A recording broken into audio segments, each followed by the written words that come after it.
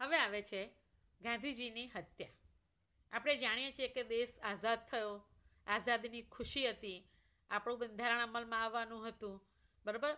આપણો દેશ બસો વર્ષની ગુલામીમાંથી છૂટ્યો હતો, પણ અમુક બનાવો એવા બન્યા જે આપણને તોડી નાખે એવા હતા. આપણને એટલે આપણા દેશને હચમચાવી નાખે તેવા હતા. હજુ ભારત સ્વતંત્ર થયું. એને છ મહિના પણ પૂરા થયા નહોતા. આખો દેશ ઊંડા શોકમાં ગરકાવ થઈ ગયો. કેમ? તો ભારતના ભાગલાના સંદર્ભમાં કેટલાક વિસ્તારોમાં ભીષણ કોમી રમખાણો ફાટી નીકળ્યા હતા. જો અહીંયા તમને ગાંધીજીની સ્મશાન યાત્રાનો ફોટો આપવામાં આવ્યો છે, કેટલી જનમેદની જોવા મળે છે તે જુઓ મિત્રો. આ કોમી રમખાણને રોકવા ગાંધીજી ઉપવાસ પર ઉતર્યા. લોકોને શાંતિ રાખવા માટે અપીલ કરી.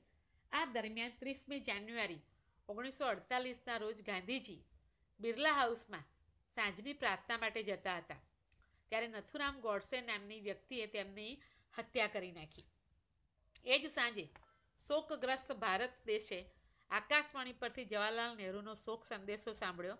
દોસ્તો, સાથીઓ, આપણા જીવનની રોશની બુઝાઈ ગઈ અને હવે ચારેય તરફ અંધકાર છે. આપણા પ્રિય નેતા, રાષ્ટ્રપિતા હવે આપણી વચ્ચે નથી. સમગ્ર રાષ્ટ્ર આ સાંભળીને સ્તબ્ધ બની ગયું. ગાંધીજી ભારતના તમામ વર્ગના લોકો વચ્ચે એકતામાં માનતા હતા અને તેના માટે જ તેમણે પોતાના અમૂલ્ય જીવનનું બલિદાન આપી દીધું. દિલ્હીમાં બાપુની સ્મશાન યાત્રા નીકળી. લાખો લોકો અશ્રુભીની આંખે તેમાં જોડાયા. તો ગાંધીજીની હત્યાથી આપણો દેશ હચમચી ઉઠ્યો એમ કહીએ તો ચાલે.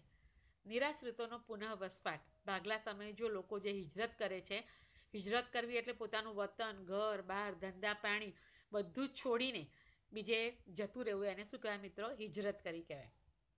લાખો લોકો પાકિસ્તાનથી ભારત આવ્યા હતા. તેમના વસવાટ, તેમને રોજગારી આપવી એ આપણા માટે બહુ મોટી જવાબદારી હતી, જે આપણી ભારત સરકારે ખૂબ જ કુનેથી નિભાવી. તમામ લોકોને શક્ય એટલી વધુ સગવડો આપવામાં આવી. વિશાળ શરણાર્થી શિબિરો ખોલવામાં આવી. તેમને માત્ર ખોરાક અને રહેઠાણ નહીં, પરંતુ પ્રેમ અને લાગણીની પણ જરૂર હતી. લોકોએ અને સંસ્થાઓએ પણ સૌને સહકાર આપ્યો. આમ, તમામ નિરાશ્રિતો બધા સાથે ભળી ગયા. તેમણે પોતાની નવી જિંદગીની શરૂઆત કરી. એ પછી આવે છે ભારતનું બંધારણ અને તેનો અમલ. ઈસવીસન ઓગણીસો છેતાલીસમાં બંધારણ સભાની રચના કરવામાં આવી. મિત્રો, આપણને આઝાદી મળી એ પહેલાં જ બંધારણની રચનાની શરૂઆત કરી દેવામાં આવી છે. તેનું કામ સ્વતંત્ર ભારત માટે બંધારણ ઘડવાનું હતું. બંધારણ ઘડવાની પ્રક્રિયા ડિસેમ્બર, નવ ડિસેમ્બર ઓગણીસો ઓગણપચાસ સુધી, સોરી, ડિસેમ્બર ઓગણીસો ઓગણપચાસ સુધી ચાલી. આ સમય દરમિયાન તેના દરેક મુસદ્દા, એટલે એના દરેક મુદ્દા ઉપર એક એક ભાગ ઉપર લાંબી ચર્ચાઓ થઈ. તે માટે અગિયાર જેટલા સત્ર યોજાયા, જેમાં એકસો ને છાસઠ દિવસ બેઠકો થઈ. જુદી જુદી સમિતિઓ, તેમજ ઉપસમિતિઓએ મુસદ્દાને સુધારવાનું, તેમજ મઠારવાનું કામ કર્યું. લગભગ ત્રણસો ભારતીયોએ આ પ્રક્રિયામાં ભાગ લીધો. બંધારણની બેઠકો દિલ્હીમાં આયોજિત થતી હતી. એમ છતાં તેના સદસ્યો સમગ્ર ભારતમાં ફેલાયેલા હતા. બંધારણની મુસદ્દા સમિતિના અધ્યક્ષ તરીકે ડૉક્ટર બાબા સાહેબ આંબેડકરને નીમવામાં આવ્યા. બંધારણના પ્રમુખ બંધારણ સભાના પ્રમુખ તરીકે ડૉક્ટર રાજેન્દ્ર પ્રસાદને ચૂંટવામાં આવ્યા હતા. બંધારણ તૈયાર થતાં બંધારણ સભાએ તેને પસાર કર્યું. છવ્વીસ જાન્યુઆરી ઓગણીસો ને પચાસના રોજ તેનો અમલ કરવામાં આવ્યો. આ દિવસથી દેશની સત્તા પ્રજાના હાથમાં આવી. આપણો દેશ ખરા અર્થમાં પ્રજાસત્તાક બન્યો. છવ્વીસ જાન્યુઆરીનો દિવસ પ્રજાસત્તાક દિન તરીકે ઉજવવામાં આવે છે. જ્યારે પંદરમી ઓગસ્ટને આપણે સ્વાતંત્ર્ય દિન તરીકે ઉજવીએ છીએ, જે બંને આપણા રાષ્ટ્રીય તહેવારો છે. અંગ્રેજ ગવર્નર જનરલ માઉન્ટ બેટન નિવૃત્ત થયા એટલે સ્વદેશ પાછા જતા રહ્યા.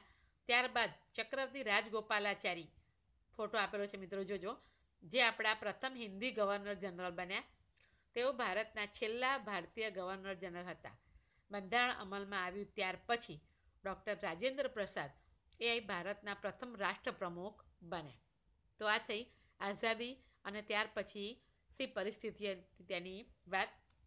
હવે થોડી ઘણી સ્વાધ્યાયની ચર્ચા કરીશું મિત્રો.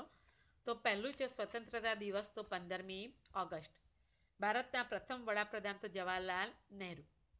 પ્રજાસત્તાક દિન તો છવ્વીસમી જાન્યુઆરી. ભારતના પ્રથમ રાષ્ટ્રપ્રમુખ તો ડૉક્ટર રાજેન્દ્ર પ્રસાદ. બંધારણ મુસદ્દા સમિતિના અધ્યક્ષ તો ડૉક્ટર આંબેડકર. બરાબર? હવે મોટા પ્રશ્નોની ચર્ચા કરતા નથી. મિત્રો, ત્રીજું ખાલી જગ્યા જોઈ લઈએ. પહેલું, આઝાદી સમયે ભારતમાં પાંચસો ને બાસઠ જેટલા દેશી રજવાડા હતા. બીજું, બંધારણ સભાની રચના ઈસવીસન ઓગણીસો ને છેતાલીસમાં કરવામાં આવી. સરદાર વલ્લભભાઈ પટેલ અને તેમના સચિવ શ્રી વીપી મેનનને વિલીનીકરણની જવાબદારી સોંપવામાં આવી. ચોથું, ભારતના ભાગલાની યોજના વાઇસરોય માઉન્ટ બેટને રજૂ કરી. પાંચમું છે, સ્વતંત્ર ભારતના પ્રથમ રાષ્ટ્રપ્રમુખ ડૉક્ટર રાજેન્દ્ર પ્રસાદ હતા. બરાબર?